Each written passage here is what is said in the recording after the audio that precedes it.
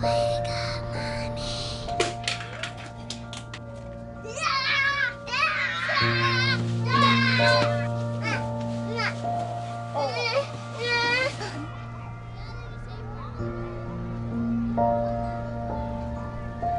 I get deported? But I didn't do anything wrong. Ten years ago, you crossed the border illegally, Alma. It's time to think about your kids. What about my kids? Can they take them away? You need to find a guardian you can trust who can look after them in case you get It's a yes up. or a no. I'm sorry, Alma. When Mexico sends its people, they're not sending their best. They're not sending you. They're not sending you. They're sending people that have lots of problems, and they're bringing those problems with us.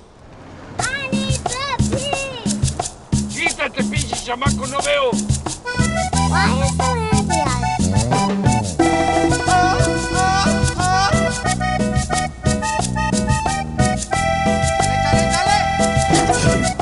¡No te les acercaras!